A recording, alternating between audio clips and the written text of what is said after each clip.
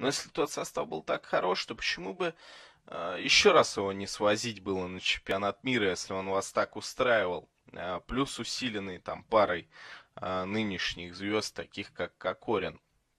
Я думаю, хуже бы не было, это раз. Во-вторых, это вполне адекватный путь. Пусть это такая тоже как бы никакого развития не получает идея национальной сборной, никакого обновления. Понятно, что надо работать и на будущее, но э, эти игроки, которые сейчас выступают, они хуже намного. И даже из тех, что новые,